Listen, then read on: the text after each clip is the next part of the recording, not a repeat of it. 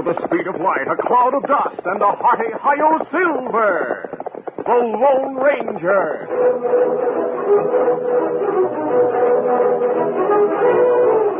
Before this exciting adventure, a word from our sponsor. General Mills, makers of Cheerios, the oat cereal that's ready to eat, Betty Crocker mixes, and Wheaties, the breakfast of champions, present by special recording The Lone Ranger. hmm You're going to love the big, exciting news today. Now there are two brand new Betty Crocker cake mixes. There's chocolate malt and peanut delight. I'll bet you can hardly wait to try them, and I wouldn't blame you. They're just so good. Today, let me tell you about the chocolate malt. It's a wonderful new way to enjoy an old flavor that's a favorite with so many of us. There's honest to goodness, delicious malted milk right in the mix. And of course, there are all the other fine quality ingredients you choose yourself, like famous Softasilk cake flour and pure vegetable shortening. And because it is a Betty Crocker cake mix, Mom knows it's the easiest way ever to bake a perfect cake.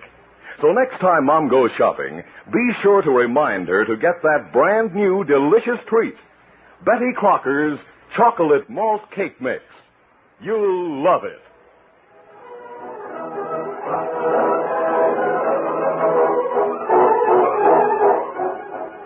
With his faithful Indian companion Tonto, the daring and resourceful masked rider of the plains led the fight for law and order in the early western United States.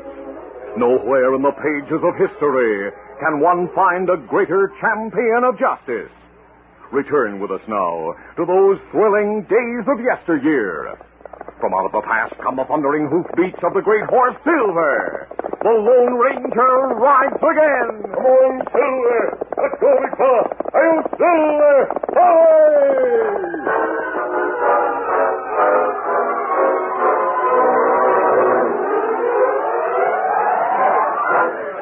Curious and expectant crowd had gathered at the small new depot in Silverton. Suddenly, as the distant sound of a whistle was heard, they waved their hats and cheered loudly. Johnny the train's coming at last. Here's the first to make the run from Lipton. Look at that engine. What a sight. Crowd's sure excited, Jim. I reckon this will mean a lot to Silverton. That's right, Luke. It'll mean a lot in more ways than You sure don't sound like it's making you happy. Why should it? Oh, you mean you're uh, afraid the railroad's going to affect your freight and stagecoach line? Yep, that's it, Luke. Yeah, but I don't savvy, Jim. Yesterday you You told can't talk here. Let me get back to my office. I'll tell you all about it. Well, let's go. I've seen enough.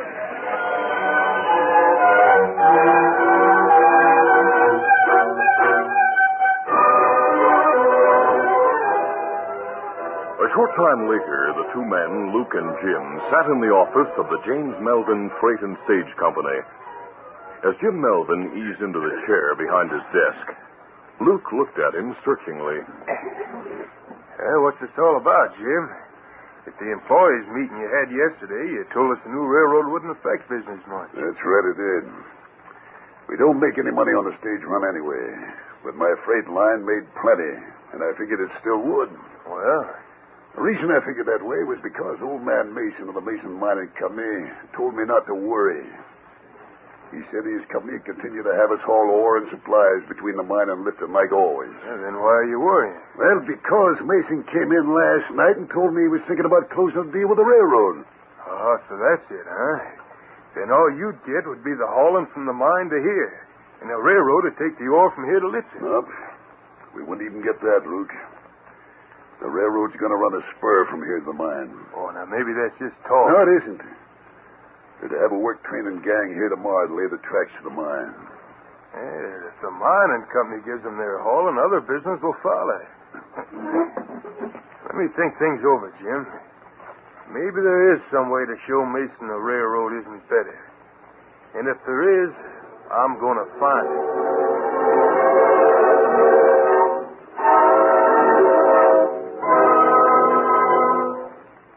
Late Friday afternoon when the Lone Ranger and Tonto rode along the old trail from Lipton to Silverton. They were about half the distance of the 30 miles between the two towns when they heard the distant whistle of a train. They reined to a halt. Oh, look out. Oh, fella. Steady, big fella.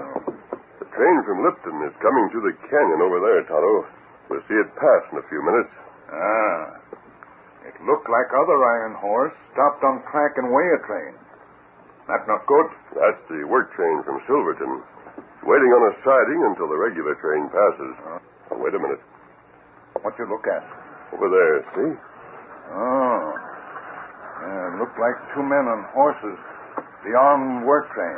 The work train is leaving. As soon as it passes, I'll get a look at those horsemen through my binoculars. Now I see them clearly. And what them look like? One's heavy set with iron gray hair. The other's a large man with a black mustache. He's pointing up the tracks toward the canyon. Here, take a look. Uh, uh, uh, me see 'em clear now. And me know 'em if we meet 'em. They may be railroad men. Uh, them leave now.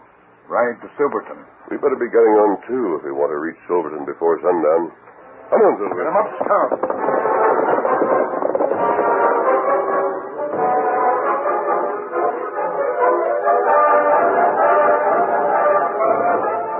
The Lone Ranger and Tonto found a campsite near the trail just outside of town.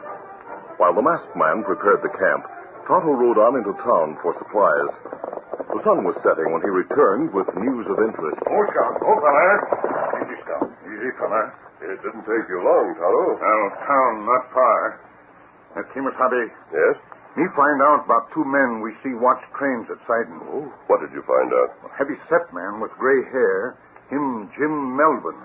Him own freight and stage company. I see. Other fellow work for Melvin. Him named Luke Jenkins. Melvin not like railroad coming to Silverton. I understand that. He's bound to lose a lot of business between Lipton and Silverton. I'd, uh, I'd like to know more about Jim Melvin. After dark, I'll put on a disguise and we'll ride into town.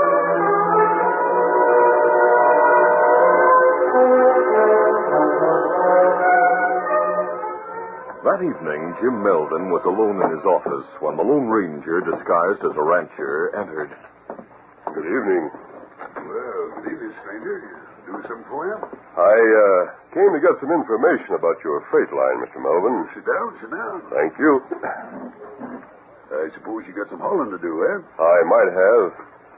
I'd like to get your rates to compare with those offered by the railroad. Now the train's coming to town from Lipton, I. That's Uh, it, railroad. Let me tell you something, mister. Nothing's going to take the place of horsepower. When I take a job, you can be sure your stuff is going through. Wouldn't shipping by railroad be quicker and cheaper? Well, I admit I can't match their rates. Oh, but- then the railroad is cheaper.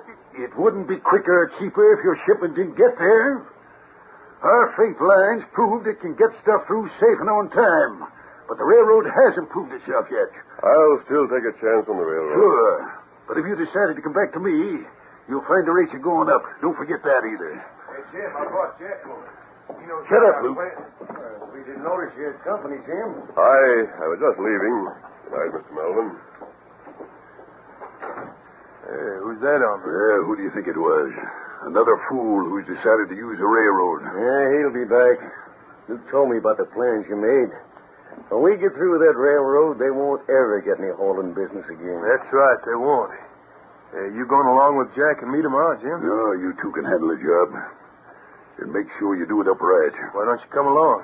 Well, my sister Jessica, the only living relative I have, is coming over on the stage from Lipton tomorrow. I gotta be here to meet her. It's uh, better anyway for me to be around town when folks get the news of what's happened. Yeah, I guess that's right, Jimmy.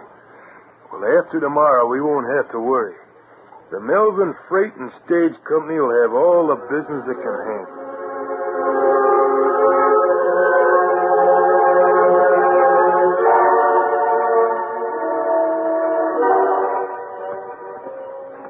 Meantime, the Lone Ranger walked to the edge of town where Tonto waited in the shadows with the horses. That's you, Kemosabe? Yes, I just came from Melvin's office. Uh, what you find out? He's very bitter about the railroad. Oh. Just before I left, two of his men came in. One of them started to say something about a plan, but Melvin shut him up. Almost too quickly, it seemed to me. You think them have a plan against the railroad? We'll check in town for further information. And we'll leave the horses here. Come on.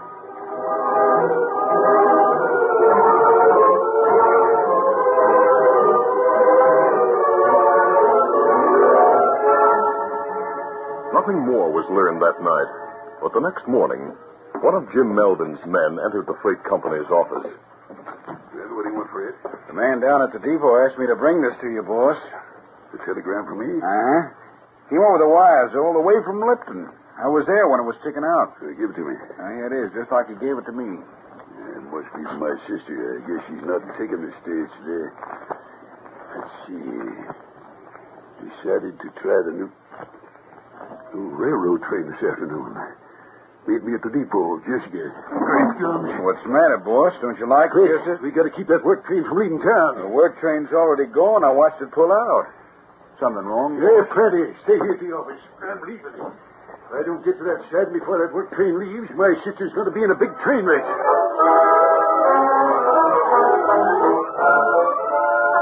We'll continue our Lone Ranger adventure in just a moment.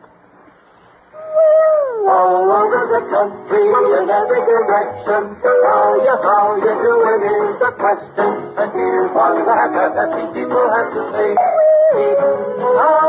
We and. Okay. Doing okay? You bet the champs in good old New York are. Listen. Now, in New York, we wait for days to see a guy called Willie Mays. Because Wheaties keeps him leaping high to grab those line drives on the fly. And Yogi Berra's a Wheaties lad whose batting style makes pitchers sad. No matter how they throw the ball, that Yogi belts it through the wall. And look, both Willie Mays and Yogi Berra turn to Wheaties for extra energy because there's a whole kernel of wheat in every Wheaties flake. Wheaties, breakfast of champions. Keep on eating your Wheaties and you'll be do, do, doing okay. Okay.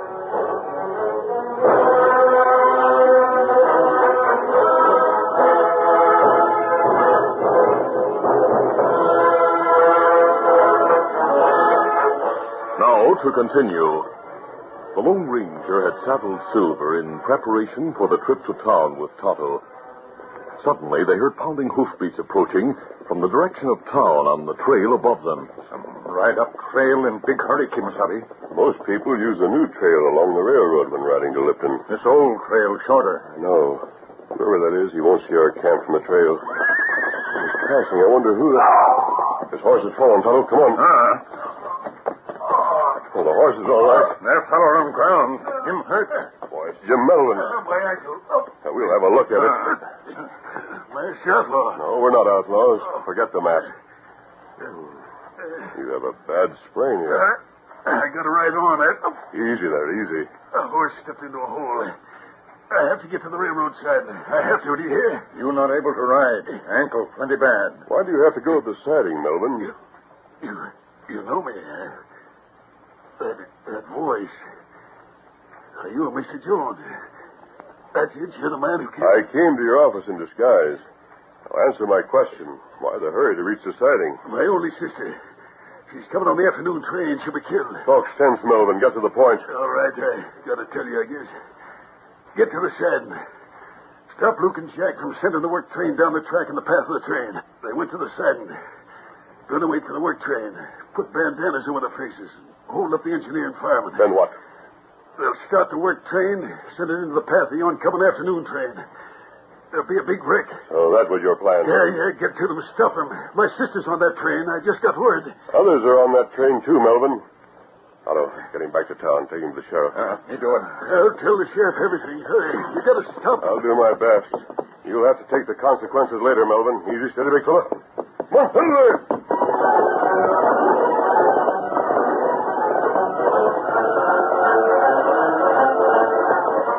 miles to go, the Lone Ranger gave Silver his head, and the great white stallion, sensing the urgency of the moment, responded gallantly to the ringing cry of his master. On, Silver! Faster, boy! Faster!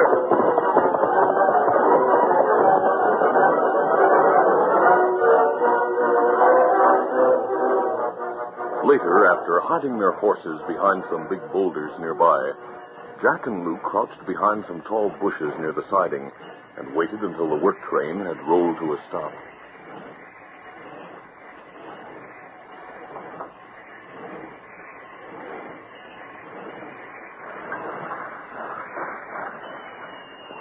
All right, Jack, let's get going. I'll cover your face so they won't know you next time. I'm ready. Go ahead. Engineer probably don't see us yet. All right, here we are. I'll get your gun ready. All right, you two, come down out of that engine. What the hell? It's a couple of owlhoots. You are coming down, or do you want lead? Huh? Oh, uh, we're, we're coming down. Yeah. What's the idea? We haven't got anything, and the two flat cars are empty. Shut up. Go on, Luke. I'll watch these two hombres. What are you up to, anyway? You just watch and see. Pull the lever way back, then jump for it. Hey, that'll start the train. Send it into the one that's due to be coming from Lipton. That's the idea, mister. A nice big wreck. we won't let you. I warned you. Oh, my leg. Just so your friend won't interfere. Now, Oh. now go ahead, Luke. Hurry up. Here she goes.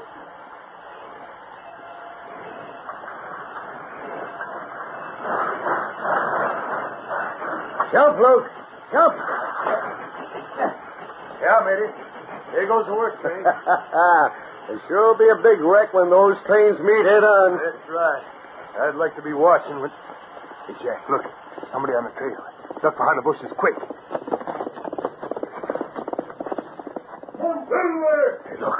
A masked hombre. Yeah, and he's chasing after the work train. Hey, looks like that masked hombre's trying to spoil our plane. Oh, forget it. He hasn't got a chance. All right, let's get away from here and head back to town.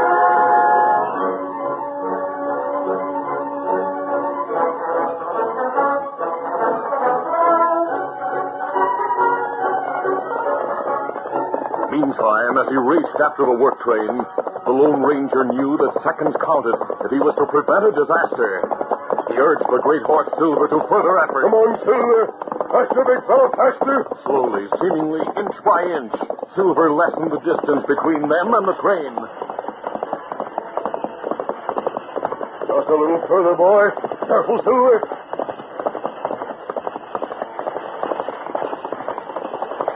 Slowly they gained until Silver was racing near the iron rungs of the last flat car. Then the Lone Ranger braced himself for the leap which he dared not miss. Isn't it, Silver? Steady, big fellow. Made it. Quickly, the masked man moved along the swaying cars and over the fuel tender into the engine cab. He grasped the throttle and pulled it back, then reached for the brake lever. To push that lever and put on the brakes. The other train. I must stop the work train and put it into reverse.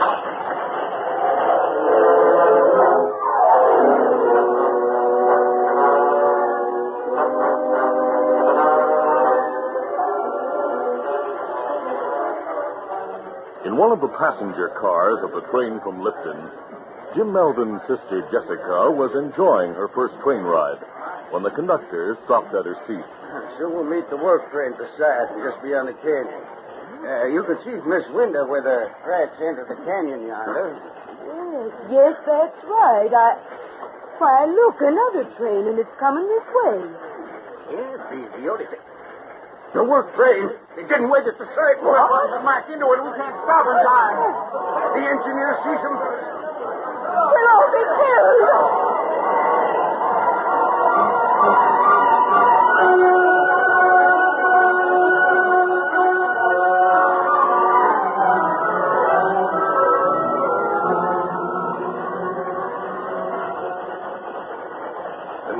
The work engine, the Lone Ranger had tried frantically to move the brake lever, which had jammed because of the strong and sudden shove given it by Luke when he released it. The work train had run through the short canyon and out onto the curving track beyond before the lever responded. There, that did it.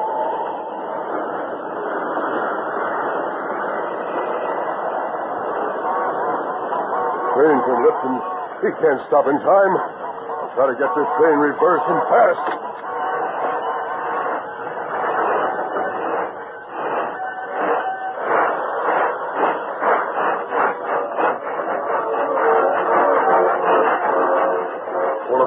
It seemed that in spite of the Lone Ranger's efforts, the trains would crash before the work train could gather enough reverse speed. The masked man held his breath as the engine of the passenger train came close. Then gradually the work train gathered speed enough to run ahead until the other train could come to a stop.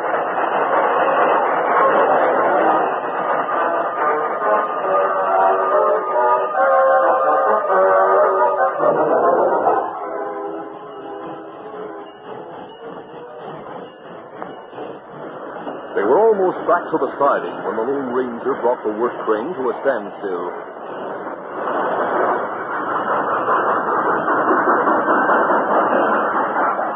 As the Lone Ranger swung down from the engine cab, the passenger train slowly approached and stopped.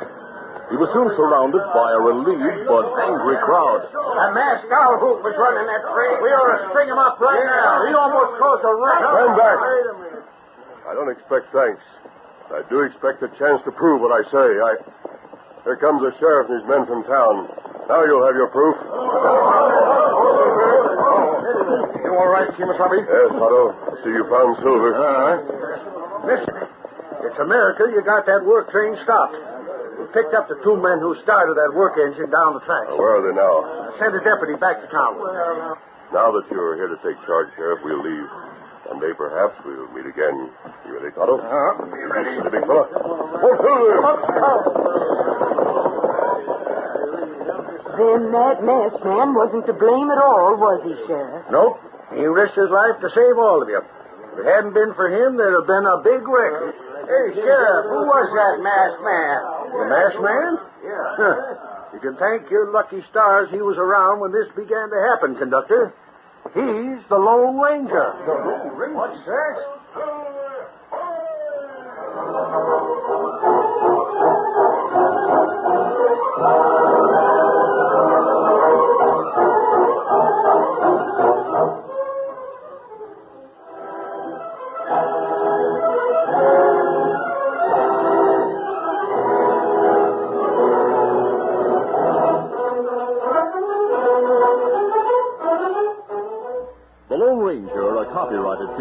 The Lone Ranger Incorporated, is produced by Kendall Campbell Muir Incorporated. The part of the Lone Ranger is played by Brace Beemer. Your announcer, Fred Foy. Listen to The Lone Ranger, brought to you by special recording Mondays through Fridays at this same time.